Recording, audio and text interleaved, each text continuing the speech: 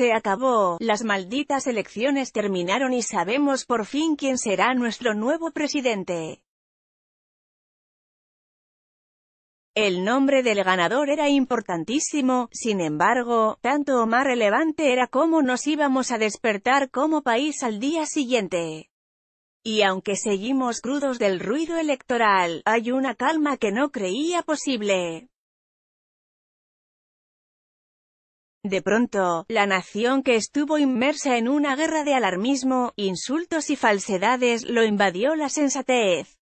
Quienes hacía unos días entregaban gargantas y teclados al proselitismo ahora piden unidad, todos somos mexicanos, intentemos entendernos, vamos para adelante.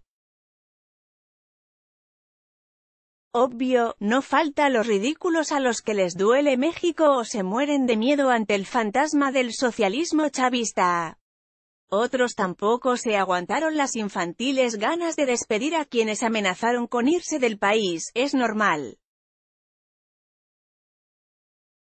Tan llena tuvimos la cabeza de nuestras propias ideas que necesitamos enfriarla, aunque sea vomitando incoherencias.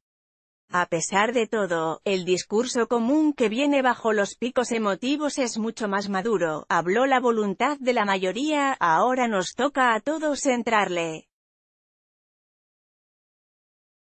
Semanas antes algunos ya hablaban de que el verdadero reto empezaba el 2 de julio. Diego Luna, Gael García y sus compadres impulsaron la ejemplar iniciativa el día después, sin embargo, puede ser que ni siquiera ellos imaginaran semejante avenencia. Esta vez no está el zócalo tomado por gente enardecida o por 132 que se volvieron decenas de miles. Foto, Santiago Arau. Parece que la elección, más que darnos un presidente, despertó la voluntad política de los ciudadanos de a pie. De la sensación de que al fin nos convencimos de la necesidad de ser críticos, de involucrarnos más allá de la queja vacía para exigir en serio al nuevo gobierno y entender que todos estamos en el mismo tren.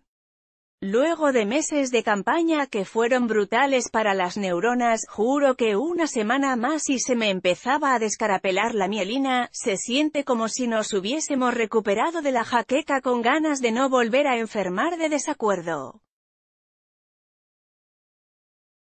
Ya estuvo bueno de enfrentamiento, vamos a darnos la mano como después del terremoto y reconstruir este desastre. Desde los mismísimos candidatos vinieron también mensajes de concordia.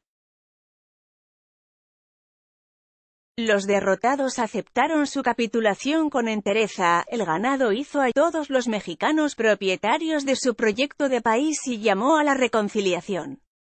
Debemos este orden a que quien ha inflamado los ánimos antes es hoy el ganador, tal vez. Se debe, más bien, a que el margen de la victoria tornó su legitimidad incontestable, puede ser. Como quiera, la lectura es la misma todo indica que tendremos una transición digna de una democracia real, es verdad que la jornada electoral estuvo lejísimos de la utopía.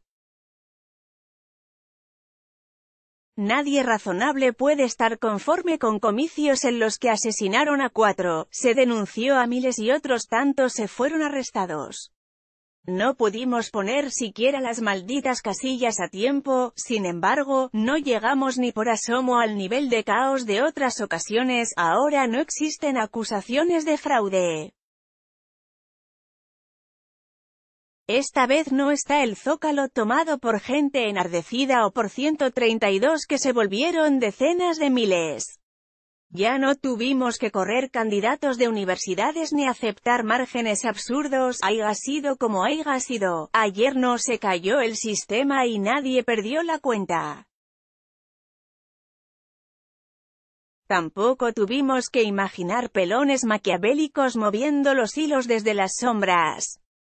No pudimos despertar mejor, el gobierno que entra tiene un bono anímico del que tal vez no ha gozado ningún otro.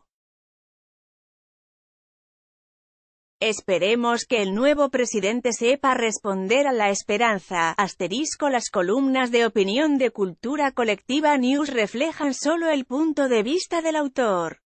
Más de Alex Ruelas, opinión, las tribulaciones del bar opinión, Peña Nieto, ya deja de firmar cosas del agua y vete de aquí. Alex Ruelas periodista, ambientalista periodista, ambientalista y vagabundo en potencia.